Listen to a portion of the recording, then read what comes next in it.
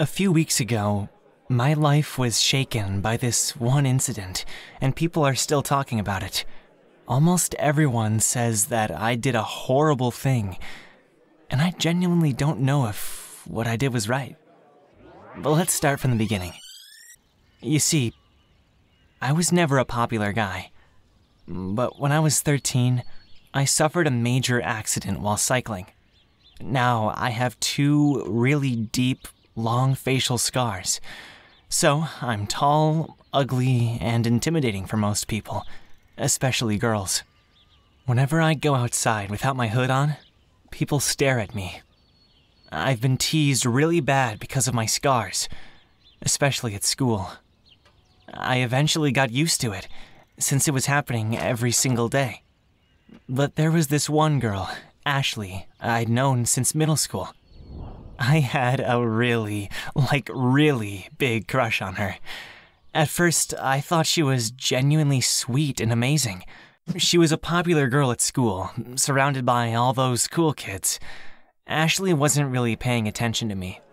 But when I tried to have a random conversation with her once in a while, she was really kind. And, well, my family knew how I liked this girl, so they said I should ask her out. And I felt that it's the right time to do this.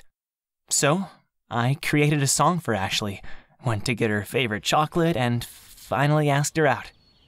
At first, she looked confused. She told me that she had to think about it. The next day, she called me, acted all cute, and agreed to go out with me. I was over the moon. So, the same day, we went to a fancy restaurant and actually had a fun time together. She was really sweet to me. The next week or so, I was in heaven. People started noticing me. Even her friends were being friendly to me. I honestly cried every day because I felt so fortunate to get so much love. But soon, it all broke down. One day, Ashley's friend, Danielle, who was on Instagram and followed her, sent some screenshots to me.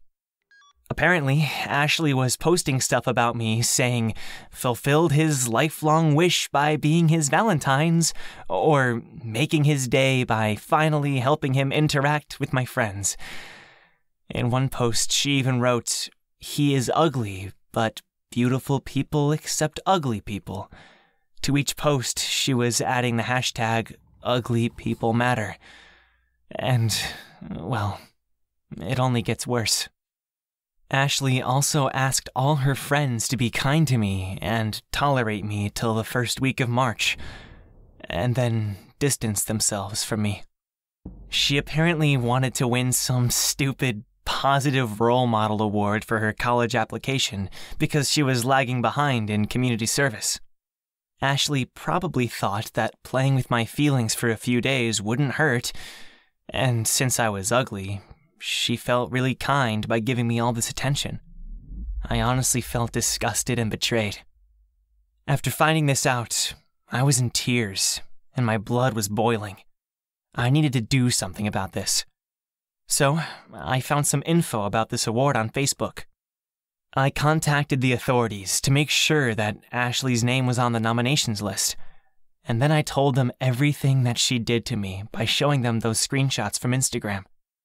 The next day, one of my friends told me she had received a message from the committee saying her nomination was withdrawn, and that everyone in the school knew that I was responsible for what happened and judged me for that. Later that day, I saw Ashley crying her eyes out in the school's hallway. She was giving me a super angry look, but didn't say anything.